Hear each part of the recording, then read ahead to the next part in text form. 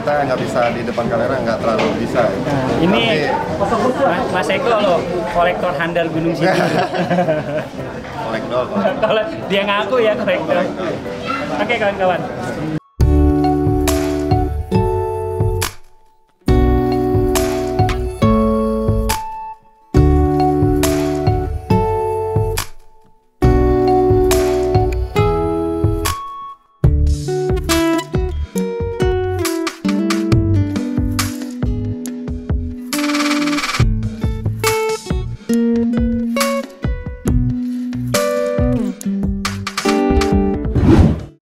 Nah, yang lagi dikeroyok di sana itu agak keras kayaknya ya pemilihannya oleh juri dan dikerumuni itu adalah kelas mik kawan-kawan. Nah, kebetulan sekarang saya sedang bersama Pak Bintoro ya. Pak Bintoro ini kebetulan adalah ketua panitianya ya Pak Bin ya. Ya, penyelenggaranya. Apa kabar Pak Bin? Ya, protokol Pak Bin. Iya. Kita sekarang bersama Pak Bintoro yang kebetulan jadi ketua penyelenggara kontes nasional ya Pak Bin ya kontes nasional yang diadakan Kaliurang Sleman ya Pak Bin ya.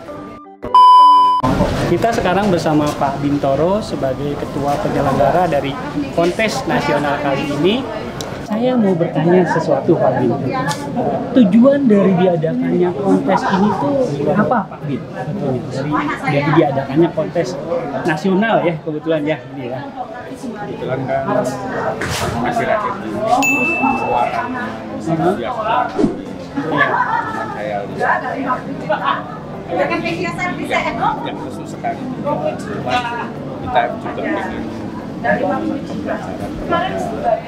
pemain-pemain supaya lebih menyenangi anturium Oh, karena anturium ini Bukan, bukan. Kalau saya tetap dijemani anak saya, Pak. Bukan ini Pak Edi. Kan namanya Sani. Jadi isinya karena PSBB ini semua tanaman ini kan semuanya menggeliat ya Pak Bin ya dan Pak Bin ingin lebih istilahnya kawan-kawan itu untuk menaikkan kembali pamornya lah boleh dibilang ya Pak Bin ya. Bukannya Anturium nggak lesu juga sih kawan-kawan karena memang transaksi tetap terjadi dan masih disenangi ya kawan-kawan ya. Dan oleh karena itu makanya untuk menggiatkan kembali ya. Dan bertemunya kebetulan bertemu Ajang juga sih Pak Bin ya. Saya yang udah kita yang udah lama karena PSBB ini ya Pak Bin ya. Terus istilahnya ini ketemu teman-teman terus terang aja kawan-kawan saya senang sekali ketemu kawan-kawan semua yang dari timur ya yang dari tengah yang dari barat. Saya wilayah barat terus ketemu timur juga. Jadi seneng banget sih Pak Bin dan terima kasih banget lo udah dibikinin tem apa wadah gitu loh untuk kebetulan kan ini kita juga mensiasati iya. untuk menyelenggarakan iya. di tengah covid ini. Iya makanya. Jadi saya tidak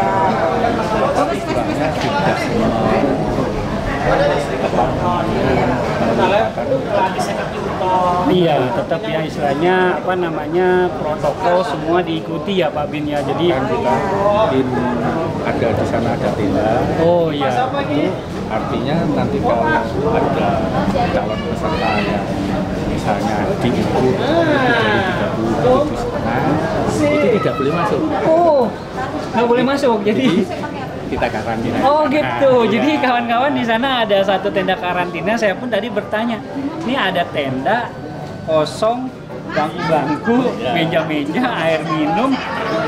Buat apa ya? Karena memang tadi kawan-kawan kita pas semuanya datang ke sini itu langsung dites pakai apa namanya termogan ya. Jadi untuk suhunya dites.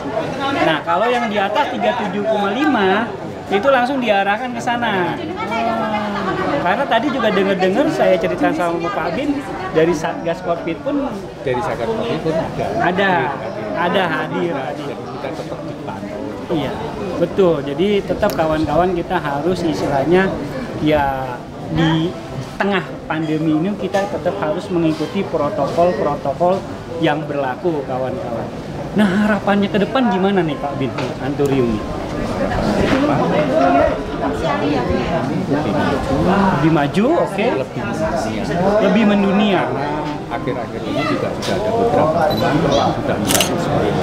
Oh, temen yang sudah mulai ekspor ya. Ekspor Jadi ada enggak yang ke Thailand, ada yang ke Amerika, sudah ada.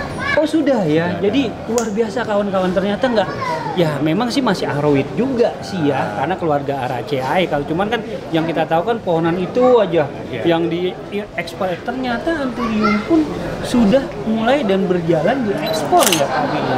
Jadi istilahnya ya ke depannya jadi lebih bagus lagi kesejahteraan para petani dan para pemain. petani. Eh, petani dan pemain. Kalau saya sempat bilang istilah pemain Pak Bin. pemain itu siapa aja? Petani ya kolektor ya kolektor. ya. Semuanya ada di situ pemain. Jadi emang untuk meningkatkan kesejahteraan para pemain-pemain atau para pembudidaya terutama para petani anturium ya Pak Bin ya. Dan saya lihat sih luar biasa kawan-kawan ada satu lagi anturium yang tadi nyeleneh Pak Bin saya lihat Ada varigata sapi yang sudah mulai warnanya pink. Nah itu kawan-kawan yang Ini salah satu peserta yang betul-betul ini baru pertama kali iya makanya di ini event ini baru launching loh, baru katanya di launching untuk Jumani Parigata Pink kawan-kawan. Wah luar biasa. Nanti kita akan liput sedikit tentang Jumani Parigata Pink ya. Dan terima kasih loh Pak Bin buat undangannya ke saya dan semoga saya doakan ke depannya Anturium makin ramai dan makin dan maju. Amin, amin. Amin. Sampai ketemu lagi Pak Bin.